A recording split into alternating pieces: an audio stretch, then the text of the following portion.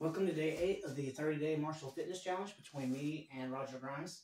If you haven't seen Roger's videos, you can find them on YouTube. His handle is at Shodan1197, or simply go through my playlist and you'll find them. Today I'm going to cover a little bit of a cane workout. Cane's one of my favorite weapons because it's very practical. Um, there are even laws saying that you're allowed to carry a cane anywhere through uh, the Disability Acts. So anyways, so we're going to start off just a little bit of a warm-up first.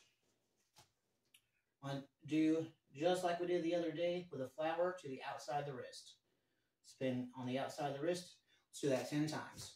One, two, three, four, five, six, seven, eight, nine, ten. Other side, same thing. One, two, three, a little off. Four, five, six, seven, eight, nine, ten. Okay, so now let's move to the center of the stick. By moving to the center of the stick, we can do both the inside and the outside. I'm watching the top of my cane to know when I do the inside and when I do the outside. So that's inside the wrist, outside the wrist, and let's do that 10 times. One, two, three, four, five, six, seven, eight, nine, and 10. If your cane's too long, it's hard because you'll hit your body.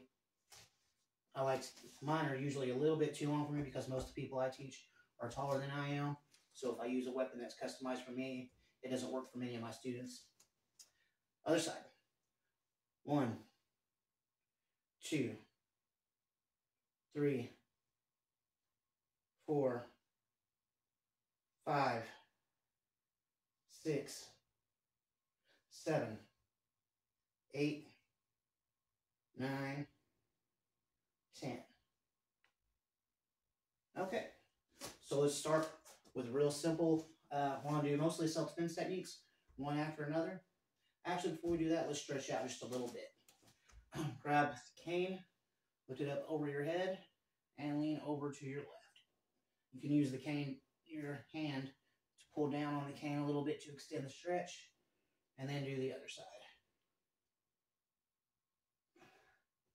For that, step out, cane straight out, bring it in front of you, and all the way behind you. So that three times. One,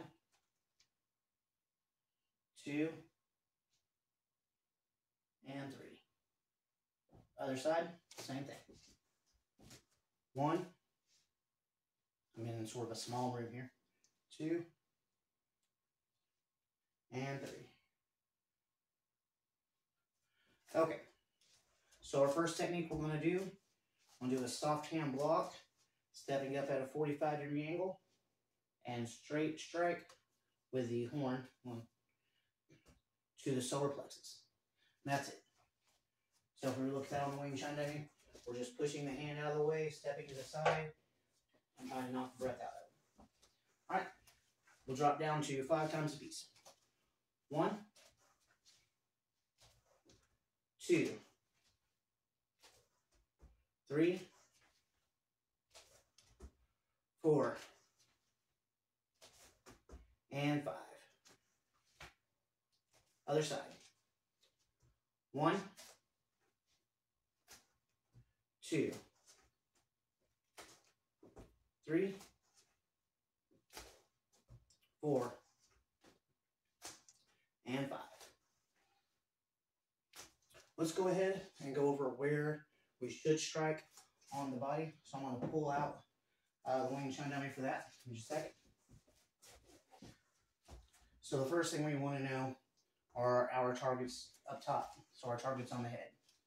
First, we have that center point on the top of the head up here. Next, basically coming down 45 degree angles right above the ear on either side. So we can come down here, or we can come down over here. After we cover those three points, next points are going to be the side of the neck, either carotid artery. So straight or here. I want to hold this with both hands. I'm going to use uh, the straight side, not the curved side. we're going to go over those strikes. So our first strike should be top center. Our second strike should be a 45. Third strike should be a 45. We should strike the side of the neck. Strike the side of the neck. And again, two. So that's one, two, three, four, five points. And again. And three.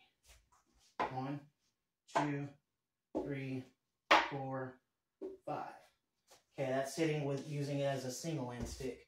We can move to the middle and use it as a double end stick to kind of speed it up a little bit. So here, I'm going to step in, strike downward, strike with one side, then the other. Going over those five points. So one, strike down with the horn. Two, strike with the other side. Three, one again. Four, side of the neck. Five, side of the neck. One more time. And three.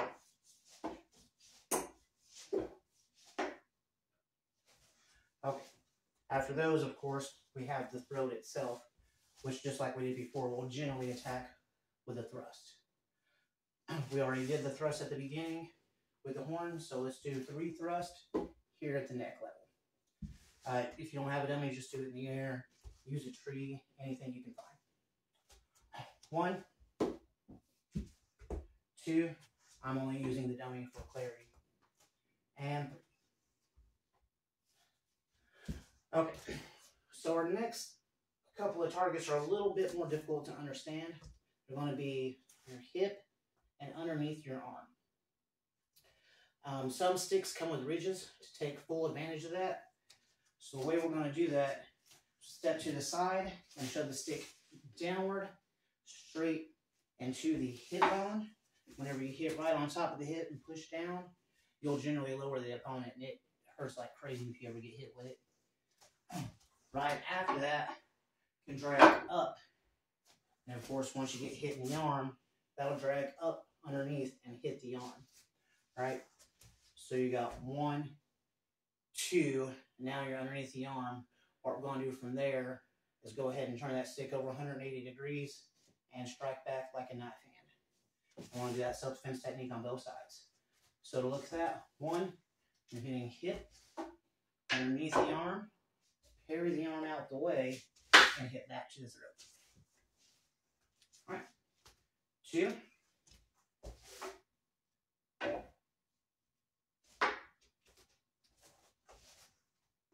and three. Hip, underneath the arm, parry the arm, strike the throat, or whatever you can get. Other side, same thing. One, strike the hip, underneath the arm. Here, because I'm on the hook end, I can actually wrap the throat for a takedown. Two,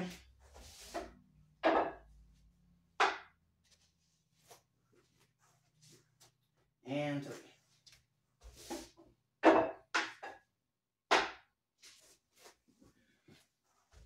Okay, so that covers one, two, three, four, five, six, seven, eight, nine, ten points so far, including the solar plexus that we did at the beginning.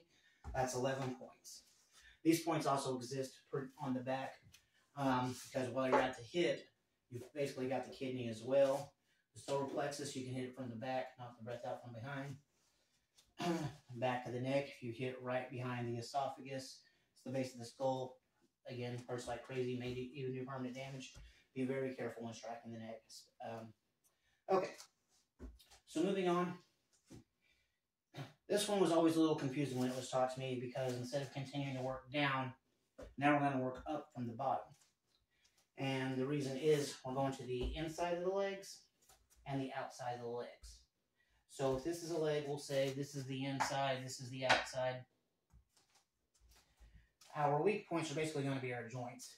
Right there at the ankle, right where it hinges, hitting both ankles and both knees. But when they do the growing shot in cane, instead of going straight to the growing, they like to go between the legs up over to the side and then around and smash just have personal preference. So normally the leg attacks will go ankle, ankle, knee, knee, bring it up, over. All right, let's do that three times. One, strike the ankle, strike the other ankle, strike the knee, strike the other knee, strike up, bring it over for a growing strike. Two, ankle, ankle, knee, knee, up, growing. And three. One, two, and three. Now again, this is where having a hook comes in handy. Just in case they haven't ended yet, we're going to go ahead and hook and pull. Let's do that three times. One, ankle, ankle, knee, knee, up, over, grab, yank.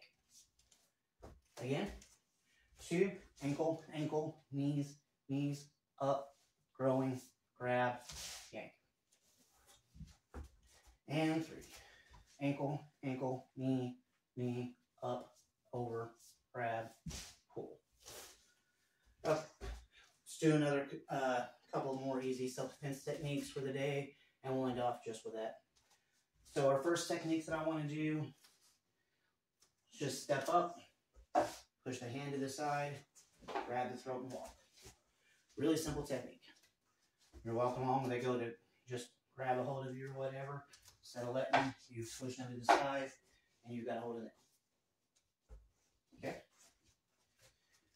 Two.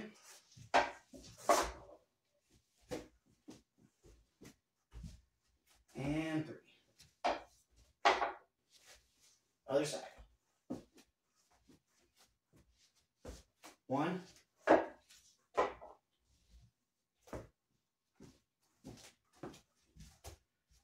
Two.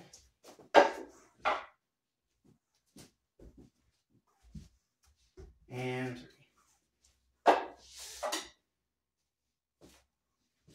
Most of the cane techniques are really but pretty effective because getting hit with a stick always hurts.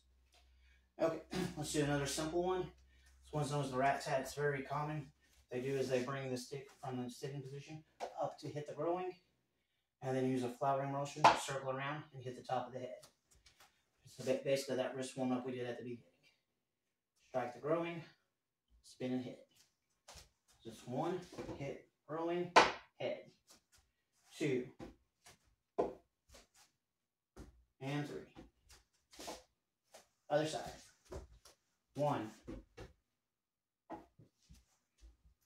two, and three.